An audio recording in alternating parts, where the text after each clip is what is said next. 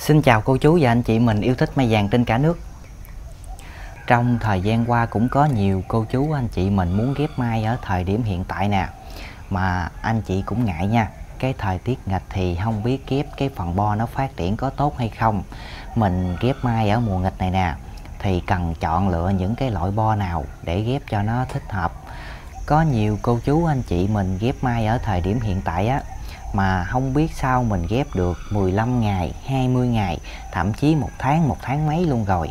Cái phần bo anh chị để ý thấy thì nó vẫn còn xanh cái lá nó còn rất là tốt luôn mà không biết sao nó không có lên được tược non. Thì à, trong video ngày hôm nay em cũng chia sẻ với cô chú anh chị mình về cái cách ghép mai của vườn em nha. Mình à, ghép mai ở mùa thuận hay mùa nghịch mùa nào cũng vậy hết anh chị. Trước hết thì mình cũng phải cắt tỉa cắt bỏ đi những cái phần tược diêm tược gừng của nó nè. Để tới chừng mà anh chị ghép á mình đưa cái phần bo vô. Toàn bộ dinh dưỡng của cây mai nó chỉ tập trung nuôi cái phần bo thôi. Nó không có còn nuôi những cái tược diêm này nữa. Tại vì mình ghép là mình chơi cái phần bo chứ mình đâu có chơi cái tược diêm này nữa đâu.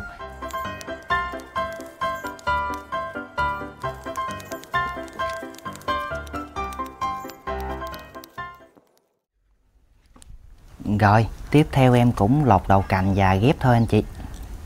Nhưng mà cô chú anh chị mình cũng lưu ý nha. Mình ghép ở mùa thuận hay là mùa nghịch, mùa nào cũng vậy hết. Trước khi ghép cây anh chị phải kiểm tra lại những cái phần đầu cành, đầu mặt cắt của mình nè. Nếu mà cái đầu mặt cắt nó bị thâm, bị đen, bị tột á, mình phải xử lý lại rồi mới ghép được còn cô chú anh chị không có xử lý trước á mình để những cái phần đậu mặt cắt nó bị hư mình ghép luôn. Thứ nhất cái tỷ lệ mình ghép dính nó rất là thấp. Thứ hai cho dù anh chị ghép cái phần bo nó dính rồi nó cũng không có phát triển tốt được đâu.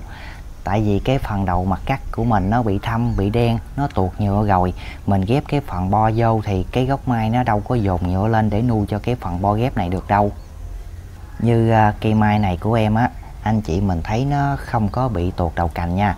Cái đầu mặt cắt này nó kéo nhựa rất là tốt nè. Nhưng mà để nó đạt được cái tỷ lệ dính cao hơn thì em cũng xử lý nhẹ lại nha. Ở đây thì em dùng con dao ghép cây hai lưỡi nè anh chị. Em dạt nhẹ cái phần đầu mặt cắt lại. Còn à, ở nhà cô chú anh chị mình có đục hoặc là dao gọt giấy hay là dao Thái Lan, nói chung mình có cái món dụng cụ nào thì mình sử dụng cái đó thôi. Còn ở đây thì em dùng con dao à, hai lưỡi này nè, em gọt thử cho anh chị mình xem.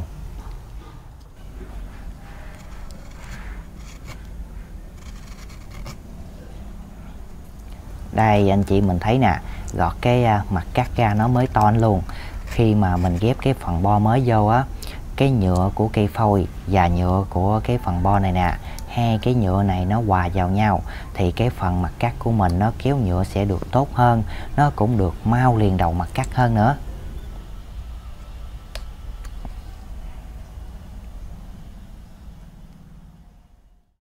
Tháng này thì mình chọn bo để ghép nó rất là quan trọng luôn nha anh chị.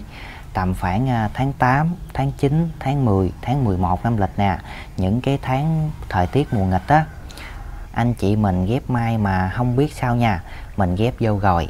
Anh chị chờ tầm khoảng 15 ngày 20 ngày một tháng một tháng rưỡi luôn. Mà không biết sao cái bo nó không có lên tuột non gì tân á nhiều khi mình để ý thấy trong cái phần bịch á, cái phần bo nó còn rất là tươi luôn, cái lá nó cũng tươi nè, lá nó cũng còn rất là xanh, rất là tốt luôn. Mà không biết sao, cái phần bo mình thì nó không có lên tược non được. Bo mai của mình thì nó có ba dạng chính, một là phần nụ kim nè, hai là nụ non, ba là nụ bông.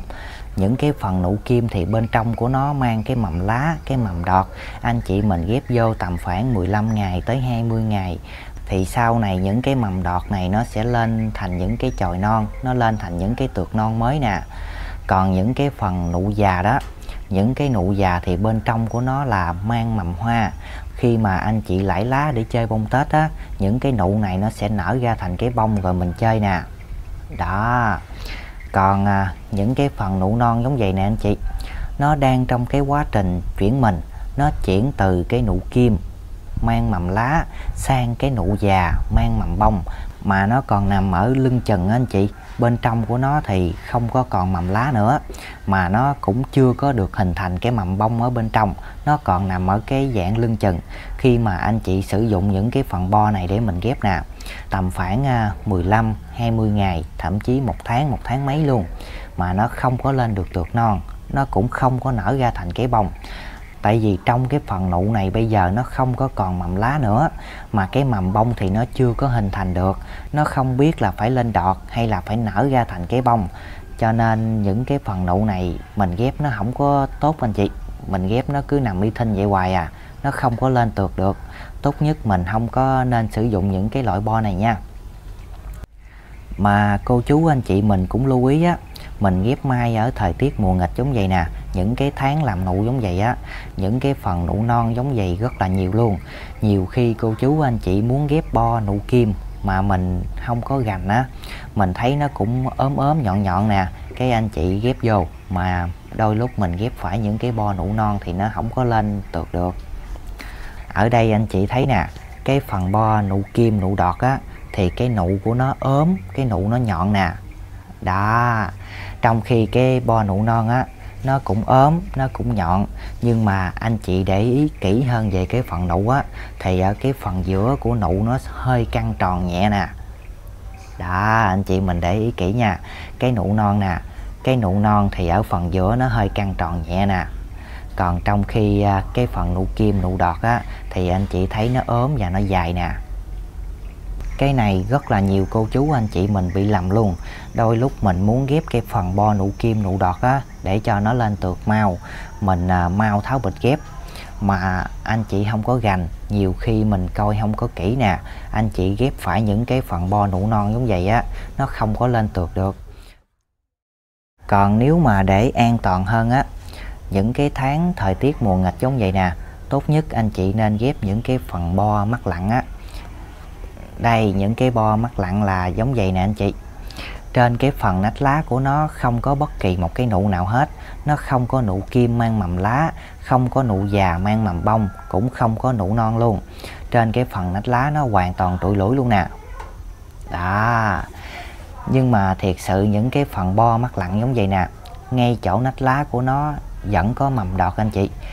Thật sự là những cái bo này khi mà anh chị ghép á, nó sẽ lên tược chậm hơn những cái bo nụ kim tầm khoảng 2 ngày cho tới 3 ngày cái này thì cũng không sao anh chị. Miễn sao mình ghép vô, cái phần bo mình nó phát triển tược á, tược nó lên được khỏe mạnh là tốt rồi. Còn nếu mình ghép cái phần bo tược nó lên sớm á, mà tược nó ốm, rồi đôi lúc mình ghép phải cái à, bo nụ non á, nó không lên tược được thì còn nguy hiểm hơn nữa. Em rất là thích ghép bo mắt lặng này. Tại vì bên trong của nó không có bất kỳ một cái nụ nào tên á. Mình ghép tháng nào cũng được hết anh chị. Nó không có ngại thời tiết, mùa thuận hay mùa nghịch gì hết luôn mình ghép những cái phần bo này rất là an tâm luôn nè. Rồi bây giờ em cũng dạt bo rồi ghép như bình thường thôi anh chị. Nếu cô chú anh chị ghép mai mà mình sử dụng nụ kim á tốt nhất anh chị nên để ý kỹ cái phần nụ của nó nè. Nó ốm và nó nhọn nha. Còn à, cái phần nụ mà nó hơi căng tròn ở giữa là nụ non rồi. Những cái phần nụ này thì mình không có nên sử dụng nha anh chị.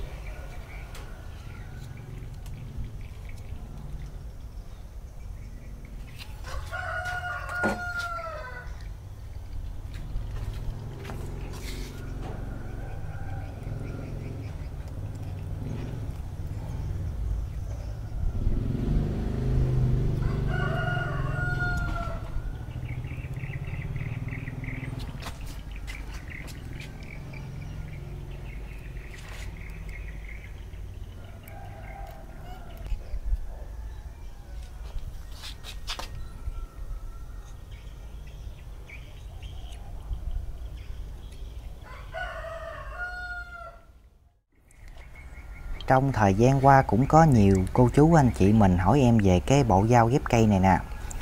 Bộ dao này thì của chú em làm anh chị. Chú em thì chuyên làm về à, dao ghép cây nè, đục nè. Nói chung là những món đồ nghề liên quan tới cây kiển á, đặc biệt nhất là bộ dao ghép cây này. Đây anh chị mình thấy nè, cái con dao gọt bo này á, em xài, em mài ghiết mà cái lưỡi nó khuyết vô một lỗ luôn nè. Đó, nó khuyết vô rất là nhiều luôn rồi nhưng mà nó xài còn rất là tốt nha anh chị. Để em gọt bo thử cho anh chị mình xem nè.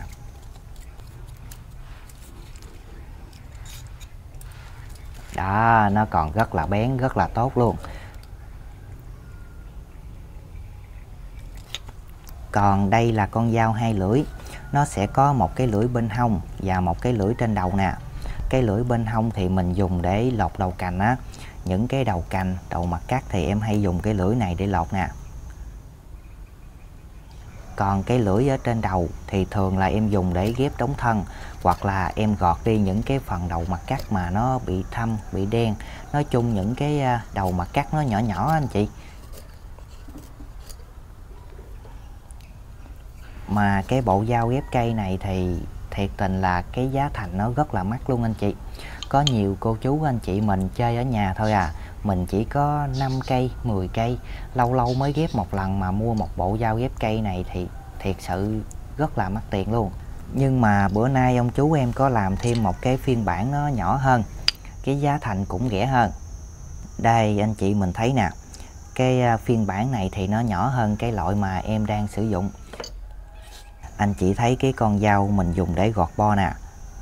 Đó, cái kích thước nó nhỏ hơn rất là nhiều luôn nhưng mà theo như em sử dụng anh chị, em thấy cái con dao gọt bo mà cái loại nhỏ này nè, mình cầm nó vừa tay hơn. Với lại tại à, tay của em cũng hơi nhỏ anh chị. Em xài cái con dao phiên bản nhỏ này thì em thấy nó tiện hơn nè, nó vừa tay của em hơn. Còn về cái độ bén thì nó cũng như vậy thôi à. Để em gọt bo thử cho anh chị mình xem luôn nè.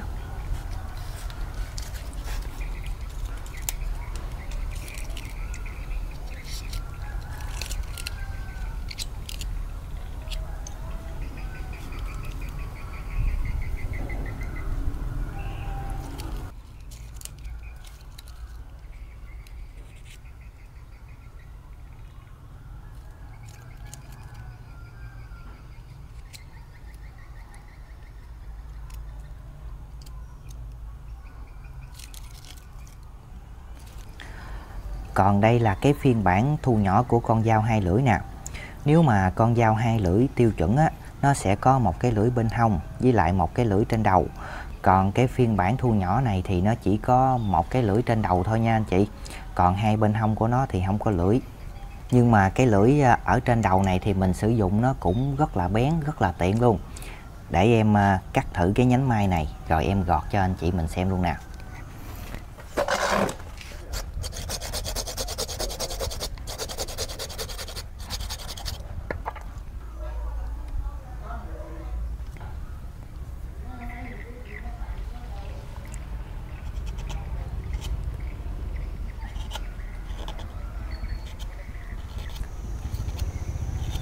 đó anh chị mình thấy không? Cái lưỡi trên đầu nó cũng rất là bén luôn. Thiệt sự thì thời gian gần đây á, nếu mà dọn cây phôi hoặc là dọn những cái phần đầu mặt cắt nó nhỏ nhỏ giống vậy nè, em sử dụng cái con dao A2 này nhiều hơn. Thứ nhất là nó gọn anh chị, mình cầm nó vừa tay hơn nè. Thứ hai á, nó chỉ có một cái lưỡi trên đầu thôi, mình cầm để à, gọt đi những cái đầu mặt cắt nó bị đen giống vậy nè. Không có sợ bị đứt tay nó vừa tay hơn, mình sử dụng cũng thuận tiện hơn nữa. Hiện tại em đang bán bộ dao ghép cây mà phiên bản thu nhỏ này nè, giá là 400 ngàn. Nó bao gồm một con dao A1 nè và một con dao A2 rồi em tặng cho anh chị mình thêm hai bịch mũ ghép cây giống như vậy nữa nha. Cô chú anh chị mình xem video á, nếu mà có nhu cầu sử dụng, cứ việc liên hệ với em qua số điện thoại mà em để trên màn hình nha. Hiện tại em đang bán bộ dao ghép cây bao gồm một con dao gọt bo A1 nè, một con dao lưỡi bằng trên đầu A2. Giá là 400 ngàn Em cũng tặng cho anh chị thêm hai bịch mũ ghép cây rồi em cũng bao phí ship là toàn quốc luôn nha. Rồi, tiếp theo em cũng lột đầu cành và ghép thôi anh chị. Trước khi ghép cây anh chị phải kiểm tra lại những cái phần đầu cành đầu mặt cắt của mình nè. Nếu mà cái đầu mặt cắt nó bị thâm, bị đen, bị tột á Mình phải xử lý lại rồi mới ghép được. Còn cô chú anh chị không có xử lý trước á Mình để những cái phần đầu mặt cắt nó bị hư mình ghép luôn. Thứ nhất cái tỷ lệ mình ghép dính nó rất là thấp. Thứ hai cho dù anh chị ghép cái phần bo nó dính rồi nó cũng không có phát triển tốt được đâu tại vì cái phần đầu mặt cắt của mình nó bị thâm, bị đen, nó tuột nhựa rồi. Mình ghép cái phần bo vô thì cái gốc mai nó đâu có dồn nhựa lên để nuôi cho cái phần bo ghép này được đâu.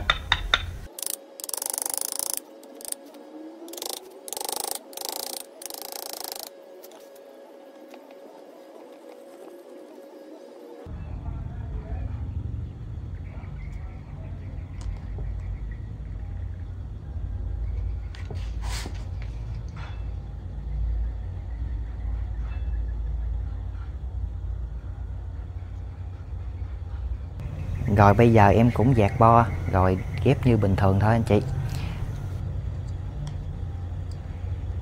Nếu cô chú anh chị ghép mai mà mình sử dụng nụ kim á Tốt nhất anh chị nên để ý kỹ cái phần nụ của nó nè. Nó ốm và nó nhọn nha. Còn à, cái phần nụ mà nó hơi căng tròn ở giữa là nụ non rồi. Những cái phần nụ này thì mình không có nên sử dụng nha anh chị và đây cũng là cái cách kiếp mai của vườn em. Em cũng vừa chia sẻ với cô chú anh chị mình xong rồi.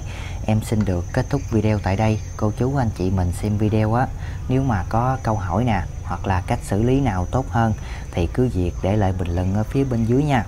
Để cho em cũng như là quý khán giả đang xem video á Mình cùng nhau tham khảo, thảo luận Để đưa ra một cái cách xử lý tối ưu nhất dành cho cây mai nè cô chú anh chị cũng đừng quên cho em xin một lượt đăng ký kênh cũng như là like và chia sẻ để ủng hộ em á. Có động lực làm thêm những video khác chất lượng hơn.